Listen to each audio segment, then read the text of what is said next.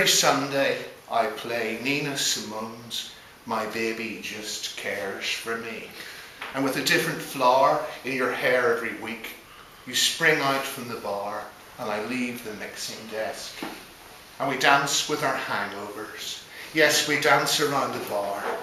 And last week we ended up outside briefly on Lewis Road in the petrol hazes. And we even waltzed out to the beer garden.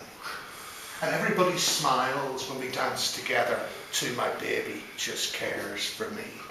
And for a few precious minutes, it's as if we have all swallowed the moon and everyone is lighter and the world might not ever end. Uh, after hanging out in Starbucks, rolling a spliff on a bench, I had breakfast in the cafe of the House of Fraser on some second floor.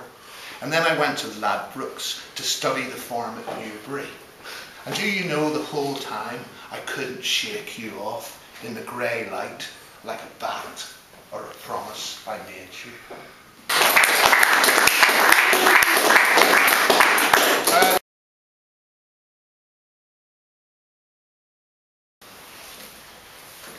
So here I am some morning in the future buying tomatoes and picking each one up to examine it to see if this one is for me. As meanwhile people die in terrible car crashes on the M6 and the people who run the world rub their hands while I'm buying tomatoes, wishing you'd come up behind me or if I went down the escalator, you'd be on the way up.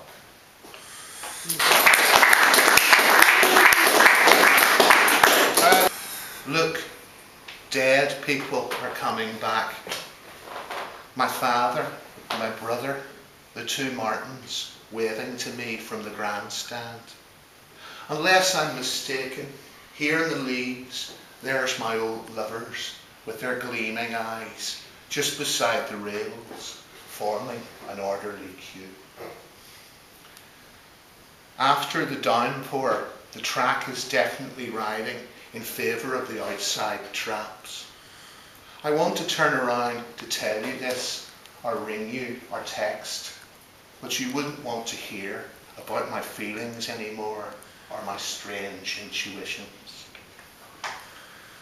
Love just keeps letting me down slow, but it's fun watching the dog handlers in the weak sunshine, smiling, having a laugh.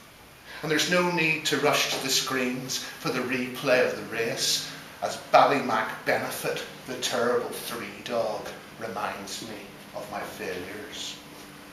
It's the yelp of hopeful promise. It's the blurred voice of the speaker. It's the clouds watching. It's the traps coated in shadows. It's the thud of paws stumbling and balking and speeding, dogs chasing through my dreams.